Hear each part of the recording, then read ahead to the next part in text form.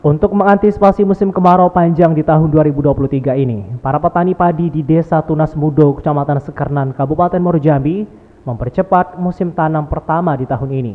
Biasanya para petani menanam padi pada bulan Maret, namun kini lebih cepat dilakukan oleh para petani, mengingat di persawahan mereka tidak memiliki embung air.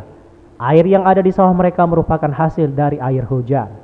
Petani mengaku apabila menanam padi di musim kemarau, hasil tanaman tidak bagus dan berdampak pada hasil panen nantinya. Untuk jenis padinya padi apa nih? Padi anu ampara. Ampara ya. Heeh. Jadi kalau air uh, airnya tidak ada tidak bagusnya ya. Bagus. Heeh. Untuk hamanya sendiri apa di sini? Nih. Namanya balang sangit. Ah, selain dari itu? tikus. Oke. Mungkin ada harapan kita nyai dengan pemerintah ada bantuan atau apa gitu nyai. Apa nyai harapan nyai? Bantuan lah untuk hama kan. Supaya padinya bagus. Harapan sama juga disampaikan petani padi lainnya. Mereka mengaku hama yang menyerang padi membuat hasil yang didapatkan tidak sebanding dengan modal yang dikeluarkan.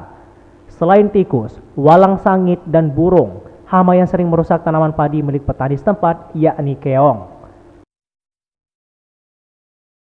Uban keong ko bagilah duit ko sorang. Ya. Itulah na dapat ni dari atas. Ya, jadi kita harap ada lagi bantuan obatnya ya. Yo kalau ada bantuan ni. Nah, pasti Ya. minta bantuan ada. Ya. Kami tak tahu kan nak manen be musim buah be. Uban-uban ada magi. Kami kalau mula manen ko, Hmm. nah, habis kalau udah panen kan, Ah, dapatlah macam awak bersih ko itu dapat 13 karung bersih. Eh. 13 karung ya. Diketahui, Kabupaten Muaro Jambi merupakan salah satu daerah yang menghasilkan komoditas beras terbesar di Provinsi Jambi. Diharapkan tanaman padi para petani di tahun ini mampu mencukupi kebutuhan masyarakat Jambi. Muaro Jambi, Azwin Hadian, Bungo TV.